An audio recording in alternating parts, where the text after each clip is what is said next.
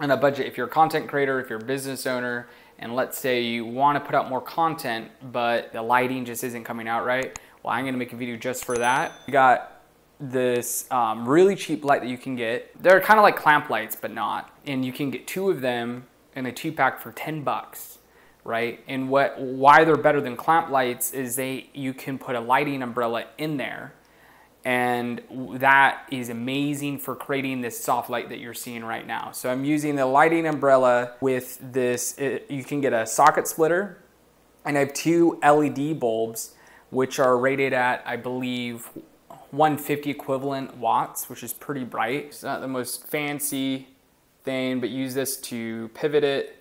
Uh, this for the light stand, and then on the other side, there's a knob to make sure the lighting umbrella stays in, in place. So I always recommend going with daylight balanced.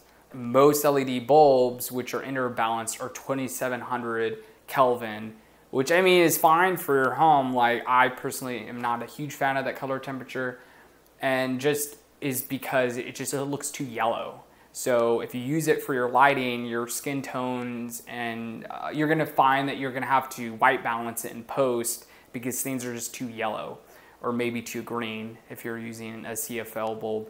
Uh, so I always recommend daylight balance. Get something that is 5,000 Kelvin to 6,000 Kelvin. And I wouldn't go above 6,000 Kelvin. For the outdoors when it's sunny, it's 5,600 Kelvin. Make sure that all your outdoor balance bulbs are the same color temperature it will really even out the color of your skin tone and all that jazz. So when you go and edit, you don't need to color correct.